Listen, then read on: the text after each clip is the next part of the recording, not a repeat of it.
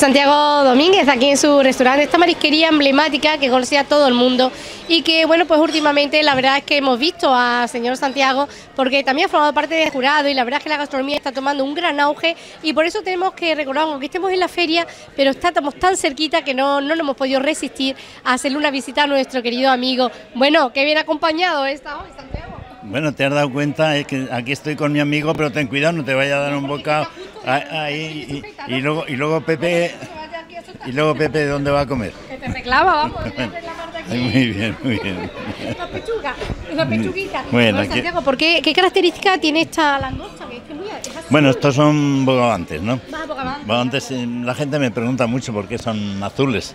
Bueno, es, son el bogavante nacional, digamos, al que llamamos nacional, que es también de Marruecos y de la parte de Irlanda, pues entonces son siempre azules. Ahora el otro, el americano, es que es más marroncito, ¿no? Pero luego cuando se cuecen, pues se ponen todos así color ahí, un color más tirando a rojo, rojizos. Pero vaya, siempre es bogavante. Ahora lo que tú te refieres, me parece que será la, la langosta, que es... Mira, por ahí tenemos alguna que están... Es parecida, pero no se, es igual. Se esconde porque se ha abarruntado que íbamos a, a, pillarla y se ha metido debajo de los centollos. Son muy listas las langostas, ¿sabes? Sí, sí, se, ve, se, se esconden. Se esconden. Pues bueno, Santiago, como estás viendo aquí la feria, porque has tenido a todos los medios de comunicación, a casi todos, no todos, pero has tenido la COPE, la SER, hemos visto que han vivido aquí una jornada muy intensa, dando a conocer Marbella a todo el mundo en general, y eso es muy bonito, ¿no? Porque si se conoce la costa y la gente invierte y viene año tras año, es porque se habla bien de la costa del sol, sobre todo de Marbella. Bueno, eso es lo que tenemos que hacer. Lo, es una frase que es muy mía y que yo siempre la digo. Habla bien de ti mismo porque luego la gente no sabe quién lo ha dicho, ¿no? Entonces, eso es lo que tenemos que hacer, hablar bien de Marbella y no mal, porque si hablamos mal nosotros, pues entonces los demás van a decir, no ves si vosotros mismos lo decís. Y como hay tanta envidia a nivel turístico, pues como pueden ser otras zonas, no voy a nombrar zonas, pero sí otras zonas turísticas, pues siempre se dedican a decir que, todo de Marbella es malo, ¿no? Por eso nosotros tenemos que decir que es bueno y si acaso decir también que lo de los demás es malo, que lo mejor es lo nuestro, para que luego, como lo hemos dicho nosotros, luego no sabe la gente que nos ha dicho. Eso es lo que, eso es lo que tenemos que hacer. Bueno, esas... Pero que es que es la verdad, que es que Marbella es una maravilla, tanto en el clima como la gente que vive aquí.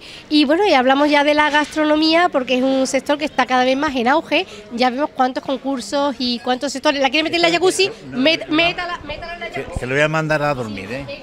a mandar a dormir. Y... del spa. Bueno, claro que sí. Ahí está, ya feliz.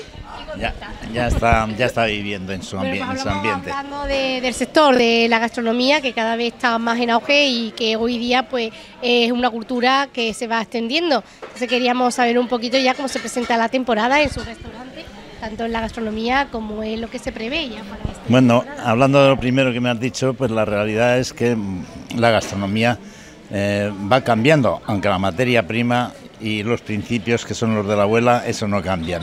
Siempre seguirán siendo igual. Y todo lo que se hace después, pues es adornando todo aquello que se ha hecho. Y en lugar, la verdad es que cada día vamos más a lo que hemos dicho, al puchero de la abuela. El puchero de la abuela siempre se ponía con un leño por delante, aquellos eh, pucheros de barro, y lo poníamos donde hacía glu, glu, glu, glu, y se tiraba cuatro horas. Y ahora la nueva gastronomía, eso, al fuego, al fuego lento también, a, con, hornos modernos, pero en definitiva está a fuego lento.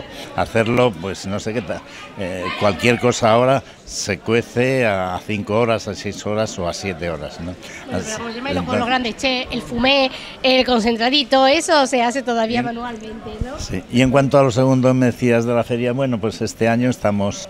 Eh, ha arrancado más tarde, ha tardado dos días. Los dos días primeros han sido un poco tristes, pero sin embargo ahora ya sí, está, la gente se ha lanzado a la feria, a las calles y a divertirse. Y eso es lo que tenemos que hacer, pues eh, divertirnos un poco porque esta vida son tres días. ¿Y para qué queremos el dinero? Vamos a, a, a pegarle fuego, no, pero vamos, como siempre se ha dicho, vamos a pegar fuego al pajar. ¿no?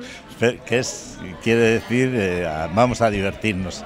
Que... Es verdad, yo los otros días estaba escuchando la Lotería Nacional y el presentador todos los premios decía, bueno, pues ahí ya tenemos para ir una cenita. Y todos los premios se referían a la cena. Bueno, pues con ese premio ya una gran cena, ya no una cenita. Y cada premio que salía hablaba de ir a una cenita. Digo, pues yo, que mejor gastárselo que en una buena comida y compartirla, ¿no? sí, es lo que está. Es lo que estamos hablando, es lo mejor que puede hacer una buena comida y un buen amor, como, como en tu caso, que a Pepe que nos está filmando, que te quiere mucho, yo lo sé. Así, pues, ¿qué más puedes pedir en este mundo, no? A tu maripá, que, sí, está, eh, siempre te acompaña. Calla, que tengo yo la mía aquí al lado también, que ya, ya, me, ya me está haciendo señas, que me está diciendo y, y, yo que, y yo que, pues, ¿no? Claro que sí. Bueno, pues vamos a dejarte porque está entrando muchísima gente y que queremos también que no dejarte de trabajar, sino que sigas con tu tarea y nosotros vamos a disfrutar de este ratito aquí en tu restaurante. Muchas gracias. Gracias, guapa. hasta luego. ¿Cómo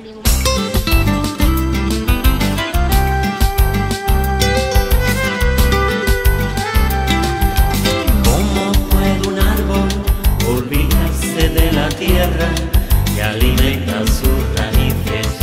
para ver la luz del sol. ¿Cómo puede el agua detenerse en su torrente sin que rompan las barreras que le impiden su razón?